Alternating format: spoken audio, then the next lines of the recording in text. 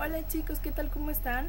Bueno, eh, después de tanto, tanto tiempo ya tengo video para ustedes y es sobre un maquillaje súper, súper sencillo, pero muy, muy fácil de hacer también eh, y pues creo que se ve bonito.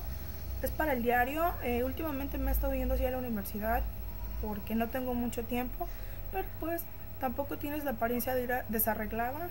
Creo que es un toque para el día muy lindo y bueno.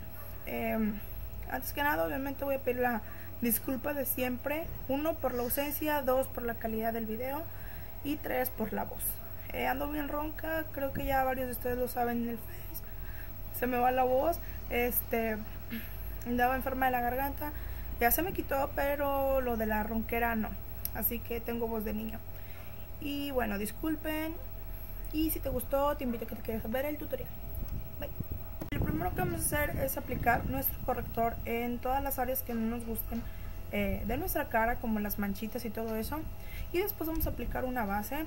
Esta es una base muy muy ligera que la compré en Avon. Es súper súper ligera porque pues la verdad yo no utilizo. No me gusta. Pero bueno.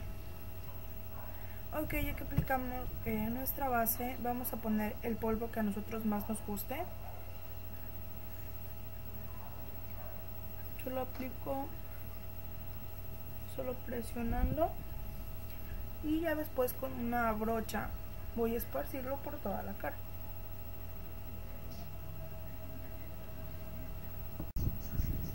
Voy a utilizar una brocha como esta, que es bastante grandecita, para poder eh, esparcir todo nuestro polvito y que no queden las marcas del aplicador. Entonces ya que aplicamos nuestro polvo vamos a aplicar una un primer para nuestros ojos. Vamos a poner un poquito solamente y lo vamos a difuminar. Ahora voy a aplicar eh, un poco de un jumbo blanco este es de la marca Verónica Conti. Y de igual forma lo voy a difuminar. Ok, voy a utilizar una sombra café como esta de aquí. Que también es de la marca Verónica Conti. Y la verdad no sé qué nombre es. Creo que se llama Walnut, algo así. Y bueno, ahí está. Pero es un cafecito así súper brillosito te das cuenta ya le he usado.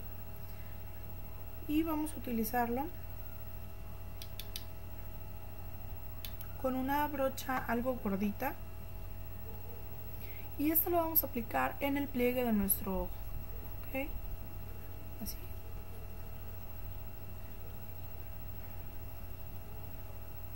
Ok vamos a empezar a difuminarla hacia adentro dando ligeros golpecitos. Vamos a tomar ahora un color más claro. Pueden utilizar un color vainilla. Este también es de Verónica Conti. Es como vainillita. Se llama Sand o Sun.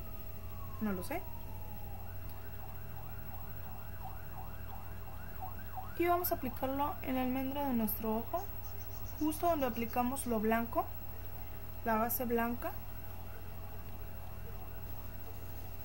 Y vamos a abarcar el color eh, cafecito oscuro. Vamos a difuminar estos dos colores.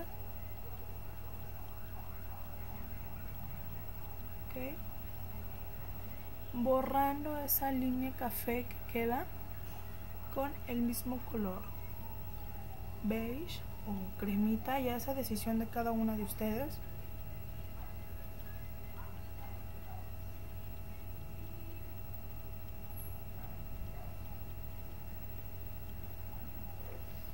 Y este mismo color lo voy a aplicar en el huesito de mi ceja